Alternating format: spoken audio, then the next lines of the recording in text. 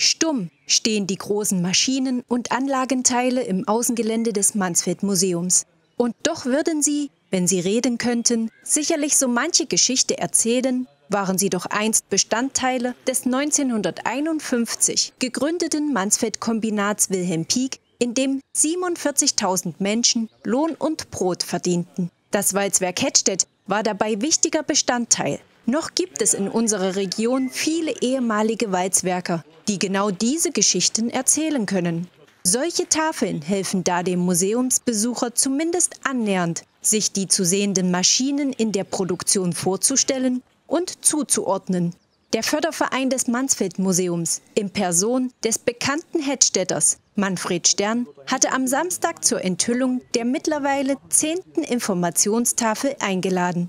Diese Tafel bezieht sich vollständig auf das Drahtwalzwerk, was ja von 1909 bis 1992 im Walzwerk Hettstedt in Betrieb war.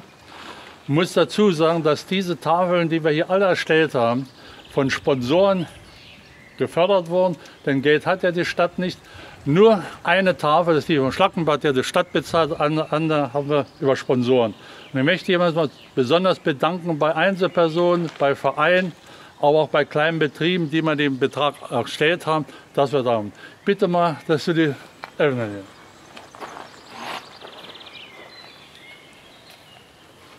Nach der Enthüllung durch Detlef Krämer erzählte Manfred Stern noch einiges, was ihm selbst aus seiner persönlichen, langjährigen Tätigkeit in den Drahtbetrieben im Gedächtnis geblieben ist. Bürgermeister Dirk Fuhlert griff die kleine Kritik Manfred Sterns zur finanziellen Unterstützung des Vereins auf. Und es tut mir ja selbst leid, dass die Stadt kein Geld hat, sonst würden wir euch natürlich gern viel mehr unterstützen. Und deshalb auch mein Dank natürlich an die Sponsoren, auch die es ermöglichen, dass diese Tafeln aufgestellt werden und damit hier auch die Besucher des Mansfield Museums erfahren, was sie hier sehen können. Aber ich habe es ja schon im Vorgespräch gesagt, wir werden auf jeden Fall bemüht sein, in Zukunft auch Jubiläen, die mit äh, unserer Historie, mit unserer Tradition zu tun haben, wie 820 Jahre Fund des ersten Kupfererzes 1199, ein bisschen zu würdigen. Und ich denke, da kriegen wir sicherlich gemeinsam, nicht nur der Förderverein allein, sondern auch mit anderen Akteuren und der Stadtverwaltung Hettstedt äh, eine schöne Sache hin. Und ich denke, am 3. Oktober wird das sicherlich dann auch in Hettstedt ordentlich gefeiert werden. Die Anwesenden tauschten noch einige Erinnerungen aus, denn auch Bürgermeister Dirk Fuhlert war einst Walzwerker und konnte so durchaus mitreden. Manfred Stern erklärte vor der Kamera noch einige Besonderheiten. Ein besonderes steht da das Drahtwalzwerk, was von 1909 bis 1992 in Betrieb war. Und dieses war die Entwicklung, um den Kupfer, wenn er gegossen worden ist, als Draht wieder weiter zu verarbeiten. Und dieses Drahtwalzwerk ist ja bestehend ja aus einer Vorstraße und Mittelstraße und acht Gerüste Fertigstraße. So wie das eine Rüst hier sieht man das, hier, sieht man das vollständig dort. Und hier wurde dann der Draht warm gewalzt von diesen Weiherbars, die 120 Kilo hatten dort. Die wurden erwärmt und dann wurden sie warm gewalzt die gesamte Strecke zu, zu diesen Dingen.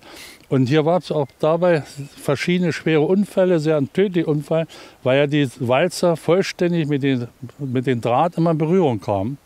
Denn äh, ist ja so, die Walzer, die an diesen gearbeitet haben, oder Zieher kann man auch nennen, die haben ja nicht gesehen, wann der andere den Draht steckt von der anderen Seite, sondern nach Hören die Arbeit, haben den Draht abgefangen und umgedreht, dass es zu dem weiterkommt.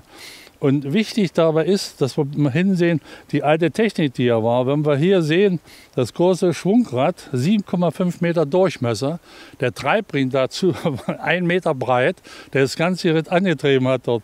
Und es ist unheimlich, was da gemacht worden ist. Wichtig für mich ist auch so, für Drahtstraße habe ich technische Unterlagen von Herrn Palm Senior bekommen. Aber mein Freund äh, Lothar äh, Meyer, der hat diese Tafel CD entwickelt und erarbeitet und hat wesentlich dazu beigetragen, dass wir so weit schon sind. Und muss dazu sagen, er wie ich, wir sind ja Rentner, wir machen das alles kostenlos im Interesse unseres Mansfeld-Museums. Ich bin ja jetzt dabei, eventuell noch fürs Haus also eine Anode oder eine Kathode herzustellen dort.